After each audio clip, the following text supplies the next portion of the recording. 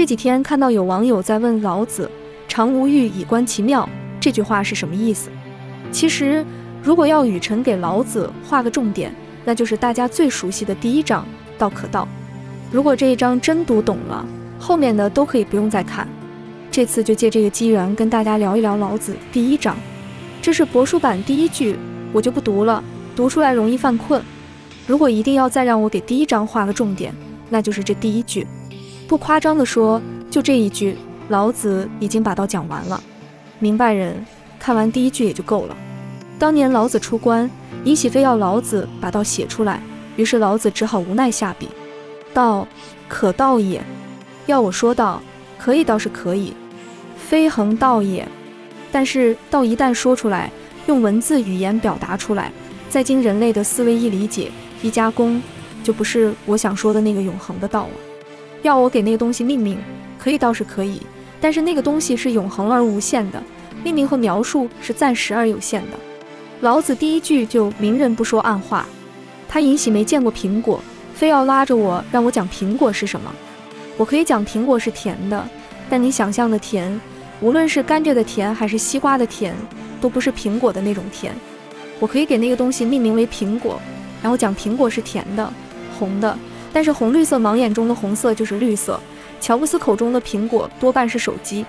命名概念都是主观的、变化的，而我心里的那个苹果超越概念，它是永恒不变的。所以，你们谁如果想知道什么是道，直接丢掉语言文字概念，跳出人类的思维和感官局限。自然就知道了，这就是所谓的大道至简。可尹喜他不知道啊，只写一句又过不了关，那我就接着强行往下定义了。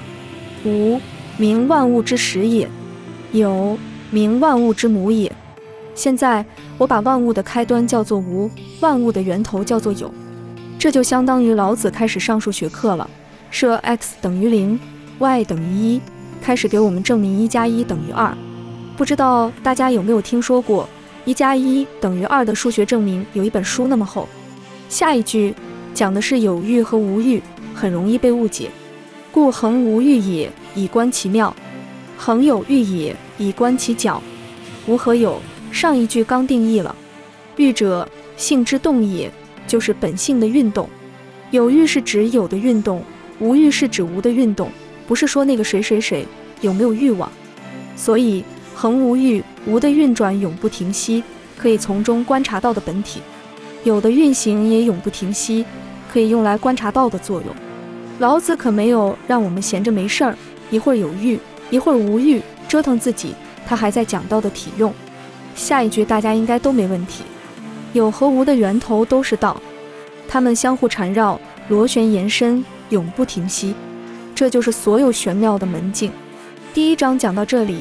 老子就说得很明白了，他给了我们两条路：一是读完第一句就把书扔掉，直接超越头脑、概念、感官，直接用心体验到；第二条就是接着往下读，研究定义什么是道，什么是苹果，什么是红色，在人类的思维里打转，在盲人摸象的路上越走越远。这个雨辰深有体会，也不怕大家笑话。我从小的志向不是当官发财，而是要找到真理。上学的时候，我觉得真理在科学里，特别是自然科学，所以我大学学的是物理学。但是我越学越觉得不对劲，难道我要的真理就是一堆公式吗？我真的需要看一本书那么厚的推理来告诉自己一加一等于二吗？我真的需要去找一篇浅析苹果是什么味道的论文来搞清楚苹果是什么味道吗？科学可能只是关于真理的一种描述，它不是真理本身，而我要的是。最直观、最实在的真理，就像水是凉的，火是热的，一感觉就知道。你拿给我一个温度计，再先进我也不要。当年数学天才柳智宇为什么放弃麻省全奖，选择去龙泉寺？如今又为什么下山？其中的心路历程，也许大家都有各自的共鸣吧。吾早年来积学问，一曾讨书寻经论，分别名相不知休，入海算沙徒自困。却被如来苦呵责，数他珍宝有何益？从来蹭蹬绝须行，多年枉作风尘客。